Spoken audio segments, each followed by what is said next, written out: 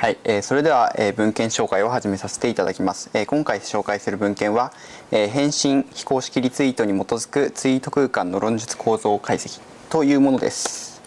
で、えー、今回紹介する、えー、論文がこちらになっています、はい、で、えー、概要になりますが、えー、ツイッターにおける返信や非公式リツイートを用いて、えー、ツイート間の論述的関係を認識するというものが今回紹介する論文の主な内容となっています。でこれは、えどういうことかというと投稿者の同意や反論疑問などの態度を、え推定する分類器を作成したというものです。でまあその作成した分類器を評価したところ4クラスの分類、えー、まあこれらこの同意や反論や疑問等のクラスですねの4クラスの分類に対して正答率0.751という性能を得ることができたというのが本論文の概要となっています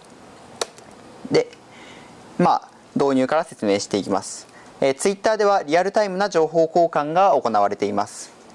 えー、しかし誤った情報や噂が広まってしまう場合もあります。まあ例でいきますと東日本大震災の際に、えー、コスモ石油の火災に伴い有害物質の雨が降る。といったまあ嘘の情報やまあ、ひまわりは土壌の放射性セシウムの除去に効果がある。といった、まあ、全くのデマ。まあ、こういったものが、まあ、ツイッター上では、まあ、誤った情報として広まってしまうことが、まあ、多く存在します。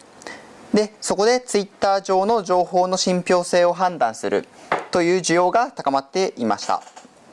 え情報のしかしながら情報の信憑性はえ人間にもわからないことが多くコンピューターにでの実用的な判断手法は確立されていません。まあ、例を挙げるとひまわりは土壌の放射性セシウム除去に効果があるといったものは実際に放射性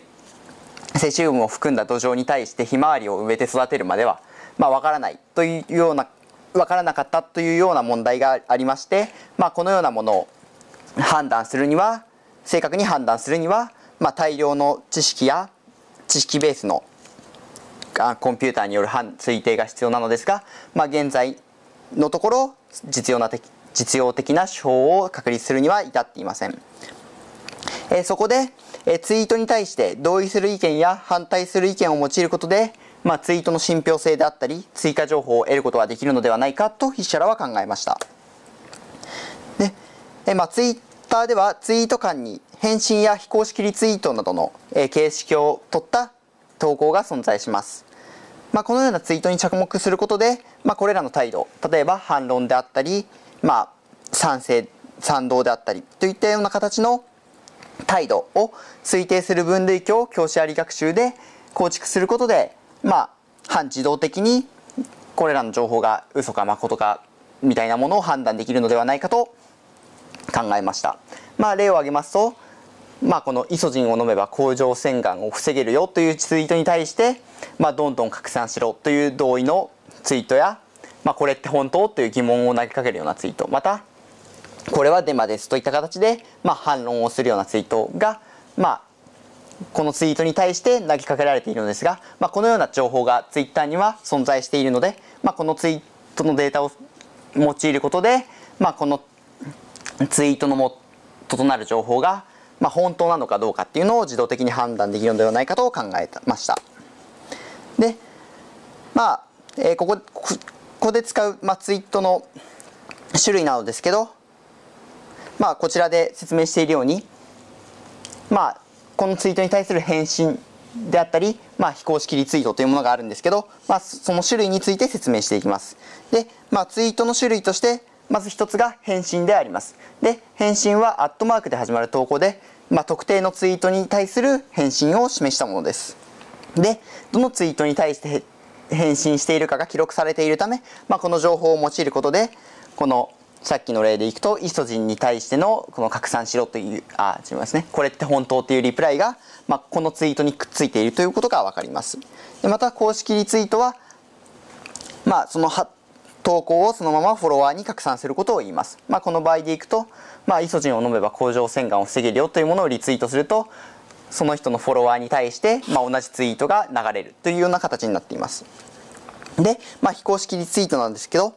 えー、ある投稿に対してコメントを生かして、えー、コメントをさらに追加してえ投稿や拡散をすることです。で、まあ、このような形式、複雑なんですけど、まあ、このような形式の投稿となっています。まあ、先ほどの例でいくと、まあ、このどんどん拡散しろといった形で、まあ、rt アットマーク t 太郎この人ですね t 太郎の、まあ、元の文章が入っているような形のものが非公式リツイートとなります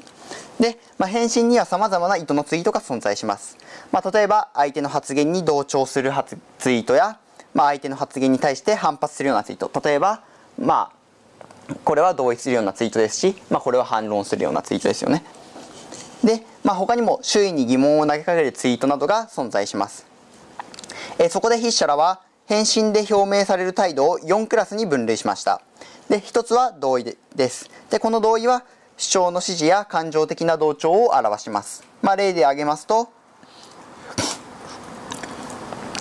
ちょっとこれ、ちょっと違いますね。すいません。間違えました。はい、すいません。で、まあ、反論なのですけど、まあ、主張を否定し、感情的な反発をするようなものです。で、まあ、例えば、日本政府は事故の重大性を全く認識していないのような、まあ、不安を煽るような文章に対して、バカさよく煽るなみたいな形のリプライを返したようなものが、まあ、反論となっています。で、え疑問、え返信先に対して情報などを要求しているものが、まあ、この疑問クラスにあたります。で、例えば、コスモ石油の爆発によって有害物質が雲に付着し雨などと一緒に降るので大変ですみたいな文章に対して NHK では、えー、今のところ有害物質は発生することはないと言っていますがあなたのツイートのソースは何ですかみたいな感じで、えー、疑問を投げかけるようなツイートですね。で、まあ、上記それらに分類し、えー、属さないものが、まあ、その他という形で分類されています。でまあ、同意や反論を設定することでツイート空間を同じ態度を表明するツイートクラスターの集合として整理できるのではないかと考えました。で、まあ、まず、えー、教師あり英学習を用いた分類器の作成ということで、まあ、返信ツイートに対するアノテーションが必要となります、え、そこで2011年の3月11日から3月29日までのその地震に関するツイートですね。津波や地震に関連する、地震に関連するハッシュタグやキーワードが含まれるツイートに対してを抽出しました。で、これがまず100万ユーザー計2億1000万ツイートとなっています。で、その中から、まあ、返信であれば返信のツイ情報を全て抽出。まあ、非公式リツイートであれば、引用元の情報を復元してそれらを抽出というような形で、えツイートに対する反応を全て抽出しました。えそしてそれらを20個のトピックに対してアノテーションしました。えー、まあ、20個のトピックというのがまあこちらになっているのですけど、まあ、例えば、まあ、ここに書いてあるもの全てデマなのですけど、まあ、イソジンを飲むと放射線対策になるといったデマや、まあ、トルコが100億円支援といった、まあ、全くの嘘に関して、まあ、これらをトピックとして、まあ、それらのトピックに関する反応をえー、ツイートとそれに対する反応を全て抽出しました。で、各トピックごとに、まあそうですね、各トピックごとに返信や、えー、非公式リツイートを100ツイートずつ集め、計400ツイート、いや、すみません、4000ツイートを集めました。で、まあこれを以下データセット A とします。で、これらに対して3人のあのデータが、まあ先ほど言った同意や反論、えー、疑問やその他といった形のクラスに、えー、分類していきます。で、まあ、3人のアノテーションが一致したツイート例えば、えー、その一つのデマのツイートに対して、えー、返信しているツイートが、まあ、3人が判断したところそれは全て3人が、え、っとデマ、えー、反論をしているツイートだと判断した場合のものを、まあ、一致したツイートをしているんですけど、まあ、それを2690ツイートそれらが2690ツイートありそれらをデータセット B とします。でまあそうですねこちらが先ほどの、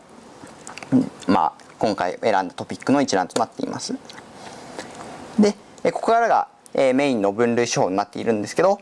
えー、教師あり学習の、えーと、組成といたしましてまあ主に3つの組成を使います。1つはツイートに関する組成もう1つはツイート間の組成これは、えーと返信元のツイートの本文と返,、えーと、返信した人のツイートの本文。といったツイート間の組成、えー、さらにユーザー間の組成を、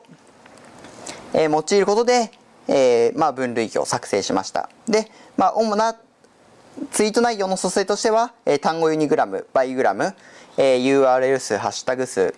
えー、デマ否定単語の有無反論表現との一致度を用いました。で、まあ、単語ユニグラムバイグラムにはメカブによる形態解析を用いたものを使用しています。でまた URL 数なのですけどまあ後の評価でわかるのですけどまあ URL が0個のものと1個のものと2個のもので、まあ、大きな差があるため、まあ、これを組成として使っています。でまたデマ否定単語の有無というのは、まあ、デマという単語であったりガセという単語であったり誤報という単語であったりっていうものが含まれるかどうかを10でまあ付与したものです。で反論表現との一致度というものは、まあ、あらかじめ筆者らは反論表現辞書というものを作成しているのですけど、まあ、その辞書の中に含まれるものとの一致度を、まあ、計算したものとなっています。で、え返信先のツイートとの間にの関係に関する組成についてなんですけど、えこれはツイートのタイプと空文と、まあ、単語バイグラムのコサイン類似度を用いています。で、えまあ、ツイートのタイプというのは、まあ、これが非公式リツイートなのか返信なのかリプライなのかっていうものをまあ、10であそうですね10でつけたものです。で空文に関しては自身のコメントが付属していない引用ツイートとなっています。で単語バイグラムのコサイン類似度は返信先と返信元のツイートの類似度を表したものを数値として入力しています。ユーザー間の組成この3つ目のユーザー間の組成としては、え返信の回数や返信の方向性、またリツイートの回数、リツイートの方向性、まあ、共通のツイート、RT した回数等の組成を使っています。で、まあ、返信の回数や RT の回数はコーパス中で見つかった数をえ入力しています。で、また方向性というのは、まあ、双方向のやり取りを行っているかどうかというものを表したものです。まあ、例えば、その、返信これはデマですという返信をしたものに対して、いや、これは本当ですという双方向のやり取りをするのか、これはデマですという返信に対して何も返さないのかというもようなものが、まあ、返信の方向性といったものになっています。で、まあ、これらを、まあ、これらを、えー、入力したものが、えー、入力し、えー、これらを分類器の、まあ、組成として使って、えー、学習させ、で、えーと、実際に分類したものの結果がこちらになっています。で、まあ、クラス前の分類を見ると、え同意や疑問に対してある程度高い性能が、まあ、得られていることが分かります。あそうですね、同意では精度が0.855で疑問では、え、精度が、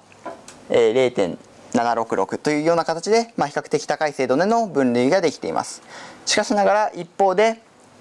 え反論やその他に対する分類性能が低くなっています。で、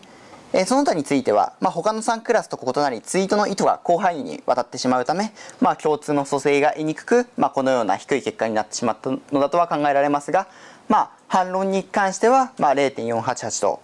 まあ、共通の組成がないのかどうか分かりませんがあまり高い数値とはなっていません。でまあ組成のクラスに対する特性性の指標として、まあ、このようなものを設けました。で まあこのような式で、まあ、その組成が、えーと、クラスの特定に対してどれぐらい影響しているのかというものを、まあ、表す指標として、まあ、このような式を用いています。で、まあ、WFC が学習の重みで、えー、C がクラスとなっています。こうですね。WFC が、えー、学習の重みで、まあ、C がクラスとなっていますでえ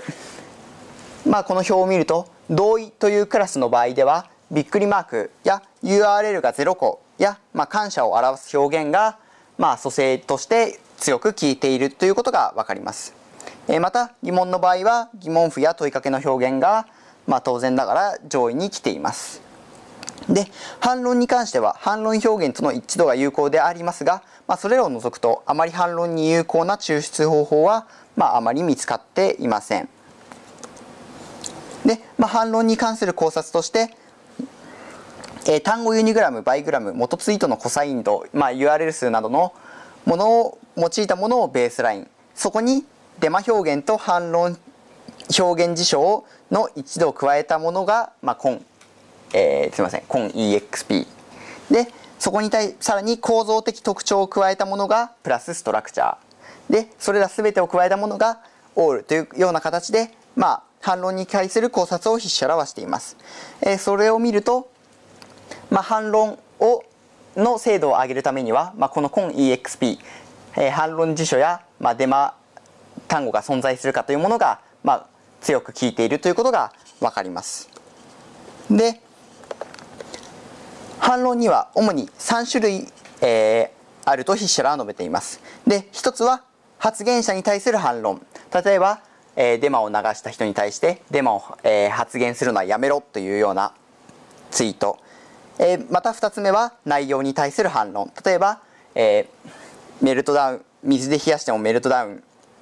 するから怖いみたいなツイートに対していや水で冷やせばメルトダウンはしないという内容に対する反論。でそれらの複合というものの3つがあります。でデータセット B の263個のうち81個が、えー、発言者への反論で137個が内容への反論。で複合的なものが45個あり、まあ、それらを、まあ、先ほどのこのグラフを、まあ、さらに分けたものが、まあ、こちらになっているのですけど発言者に対する反論に関しては、まあ、辞書を使うことで強い有効性が見られますが、まあ、内容に関する反論に関しては、まあ、これらのデマが含まれてデマの単語が含まれているかどうかというものはあまり聞いていません。まあ、これはやはり内容に対する反論はツイートの内容を理解して主張が反論関係にあるかどうかを認識する必要性があり、まあ、別の研究で扱う必要性があるというような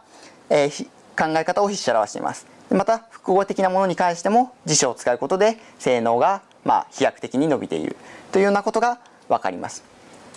で、まあ、結果といたしまして、まあ、4クラスで0.75、えー、0.75 F, F 値が0.75の、まあ、精度で、まあえー、4クラスに分類するような分類器を作成し、まあ、結果をまあ確認したというのが、まあ、本論文のえ主な主張となっています。えこれで発表を終わります。ありがとうございました。